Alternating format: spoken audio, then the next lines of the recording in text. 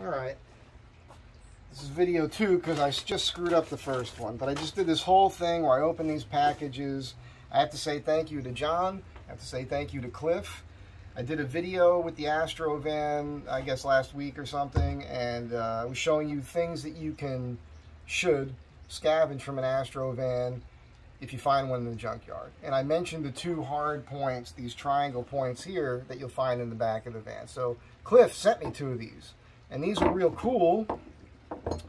Um, they're super heavy duty. You can see the size of them. Really neat stuff.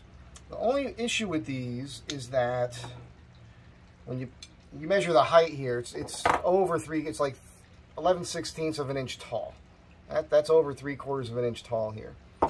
John sent me these. These come off of, he said they came off of a Sprinter van. They're just as heavy duty. Uh, but the neat thing about these D-rings is, I have to put some oil on them. When they're folded down, you can see they're nowhere near as tall as the ones that came out of the Astro van. These are only a uh, half inch tall. So, the neat thing about, oh yeah, these are going to need to be worked. This one here is pretty loose. All right. What I'm going to do now is I'm going to show you, I'm to take over the van and show you the deck and talk about uh, exactly what I want to do so you'll understand.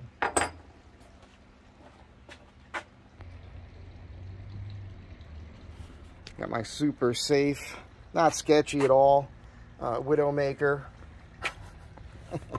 step stool ladder. So if you look under here, you can see the decking. And by the way, I am going to cinch in this curve. I like the curve. We all know it's a little too much. So I'm going to be cutting this piece of unistrut back and this piece back, and I'll be cinching that in at some point.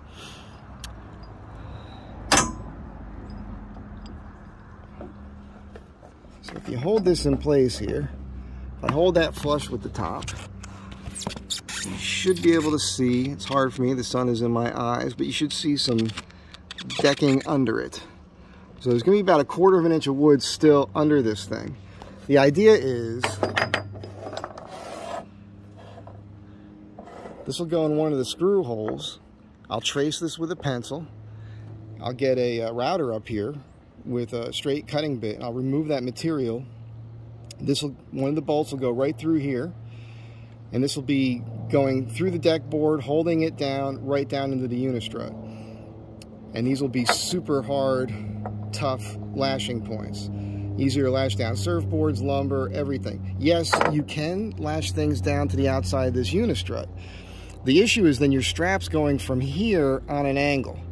So things can still slide a bit. Whereas with these, I'm gonna strategically place these so they're a little tighter in here and then once this is up, nothing can slide past it on the deck.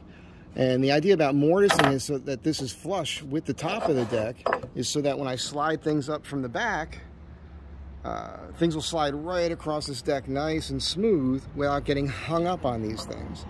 That's the idea. Uh, I don't remember how long ago it's been. I guess it's been a couple months since I put these deck boards down. I did oil them. They've been getting beat on by the Southern California sun. We've had quite a bit of rain since I put these up here, holding up pretty good. Uh, when I do this, I will probably sand the deck down and put another coat of oil on it. So you always want to oil your wood. Very important. Very important to take care of your wood, fellas. Especially hardwood. You want to make sure you got plenty of oil on that.